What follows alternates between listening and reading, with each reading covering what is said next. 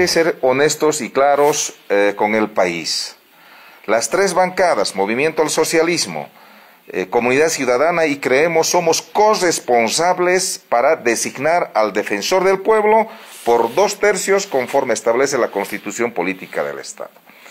Lamentablemente, estas dos bancadas, tanto Comunidad Ciudadana y Creemos, quienes han participado y han aprobado cada una de las etapas por unanimidad, al final se retiran, al final desconocen todo el trabajo que realizó la comisión y como Poncio Pilato se lavan las manos y se hacen a un lado. Yo creo que eso es ser irresponsable, ¿no? Y hoy están pidiendo la nulidad de todo ese proceso, que haya otra convocatoria.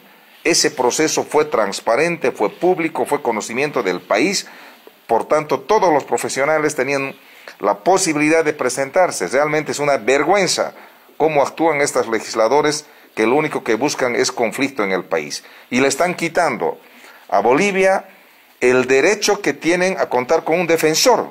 Lo único que queremos decirles es que nosotros como Asamblea Legislativa y nuestro Gobierno Nacional va a recurrir a los medios legales para garantizarle una defensora o un defensor porque esta institución no puede estar acéfala.